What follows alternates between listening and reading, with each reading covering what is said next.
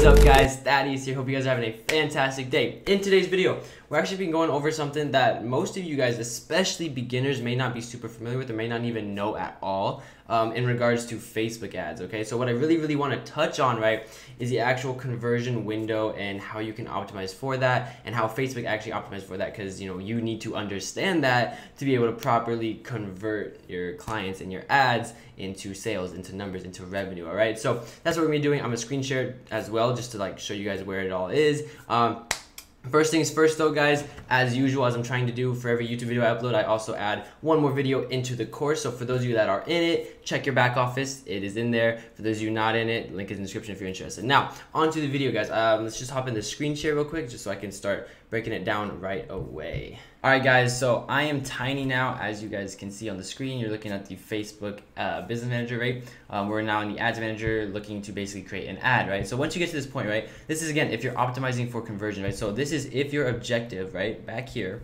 okay, if your objective is conversions, I go down here, and one thing that you'll need to actually choose, right, is the conversion window, okay? So what a lot of people don't understand, right, is depending on the product you actually sell, um, that's actually going to determine which one you select, right? So as you see, there's a few different ones, okay? So there's two kind of sections, like subcategories. After clicking ad, okay, is the first one.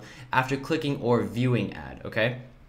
So there's two subcategories, and under each one, there's a one-day click or a seven-day click, all right? Or a one-day view, seven-day view type of thing, okay? What does that mean, essentially? So basically, depending on the product you're selling, guys, you have to understand the basically the consideration needed for a client or a customer, right, to purchase your product, okay? Usually, oftentimes, the easiest way to tell this, like to tell how much consideration is needed for a product, is how expensive it is, okay? So, for example, if you're selling, you know, a plasma TV, right, or a 4K TV or a curved TV, right, for example, right, um, that could you know that that's pretty pricey right? Those could be you know three thousand four thousand five thousand dollars okay for for a very large one right? So that that that's an expensive product. Usually if someone sees an ad right so for example if they're scrolling through instagram right if your placement for this ad is on the instagram feed they're scrolling through they see a five thousand dollar tv most likely they're not going to click it purchase it within the next you know day in the next 24 hours or within the next 10 minutes right right after seeing the ad or clicking through um, on the ad okay? Because it's pricey right? They have to actually consider it. they see it they're like okay that's interesting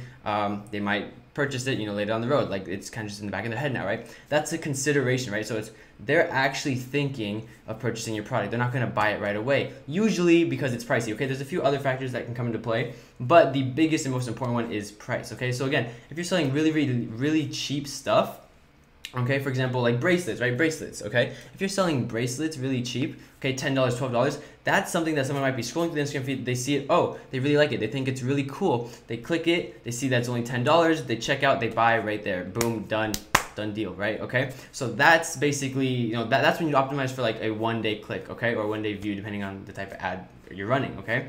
Basically how like like why is that important right? Why is that important to know? It ties into the facebook learning phase okay now this is for every objective, okay? Any ad you run on Facebook, there's a learning phase that's needed, okay? This is basically, it's a fairly new, um, you know, add-on to the Facebook, you know, ad side of things. And basically it's saying that you need 50 conversions, right? 50, whatever it is that you're converting for, like 50 leads, 50 purchases, 50 add to carts, whatever it is, okay, 50 page views. You need 50 of those within a span of a week to basically optimize it. For Facebook to know that, okay, it takes it costs this much to get someone to add this product to your cart. It costs this much for someone you know to buy this and purchase it and check it out, like like all that kind of stuff, right? So you need 50 conversions within a week. What does that actually mean? Like how does this play into it? Basically, guys, if you want accurate data, you need to know what your your conversion window is for the products you're selling okay? So again if you have you know if you click if you choose seven day click but you're selling $10 bracelets okay your learning phase it'll it'll be quicker right? Because again it's it's what Facebook is doing is for that seven days any conversion that happens in that seven days after someone clicks the ad facebook is going to attribute that purchase to them seeing that first ad okay?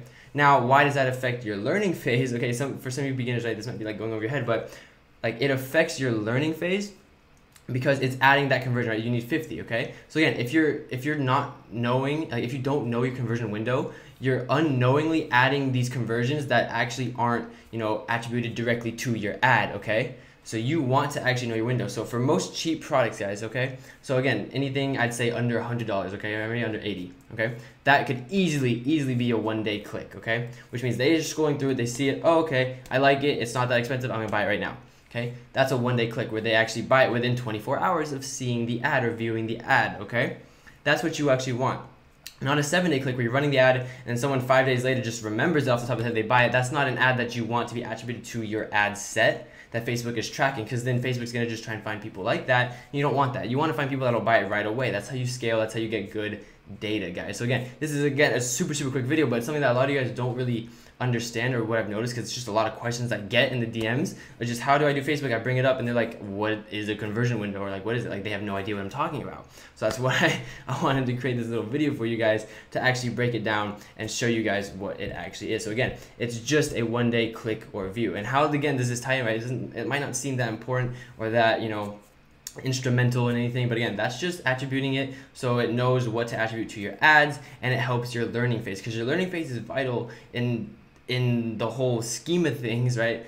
Just so that Facebook knows, okay, this is the person I'm looking for. This is the like the demographic that I'm looking for, and you want it to be the right conversion window. Okay, guys. So again, this is a super super short video, but that's just something that I wanted to break down for you guys. Um, not many people are familiar with it, and not, many people are familiar with even just the learning phase and how that kind of works. Um, but that is that, guys. I hope you guys enjoyed the video. Make sure to leave a like do do comment guys. I respond to everybody's comments. And don't forget to subscribe. We're doing basically a video a day or a video every other day. Uh, i haven't decided that yet but that's the video guys. I hope you guys enjoy. Again for you guys in the course new videos have been added. And if you haven't um, you know if you're interested link in the description as well as link for literally everything else. Hope you guys enjoy. I'll see you guys in the next video. Take care and peace. Die line, die line with the boom. Every week now I switch to a new style. Two twelves in the back just blew out. Everything I do end up in the news now. Yeah, lead a club with a few now. Just some Hollywood girls and they do chow. I'm drunk, I'm drunk in the mood.